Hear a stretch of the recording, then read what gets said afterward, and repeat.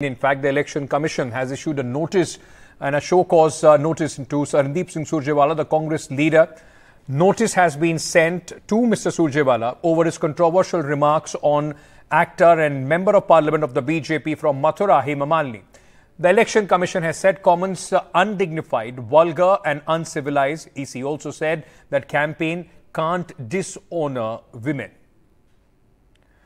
Let's uh, go across to my colleague uh, uh, Sunil Prabhu, who is joining us at this uh, moment. Sunil, uh, you know, this will be this reprimand coming in as far as Sandeep Singh Surjewala is concerned. The BJP, after Kangana Ranaut, with this remand, will is going to in fact spin the narrative that the Congress is anti-women.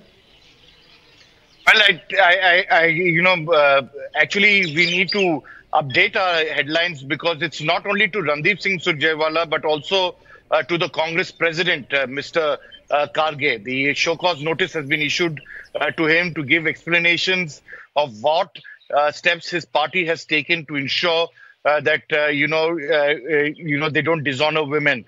so they have cited the Supriya Shrinate episode, and then of course Randeep Singh Surjewala, and asked by the 12th to comply and tell the election commission what it has done.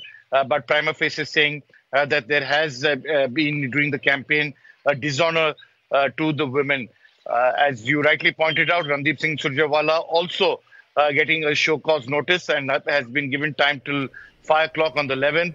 Uh, despite the clarification from Mr. Randeep Surjewala uh, to do course correction, uh, the Election Commission has not been satisfied and has issued this uh, uh, directive both uh, to Randeep Surjewala as well as the Congress President, Mr. Kharge.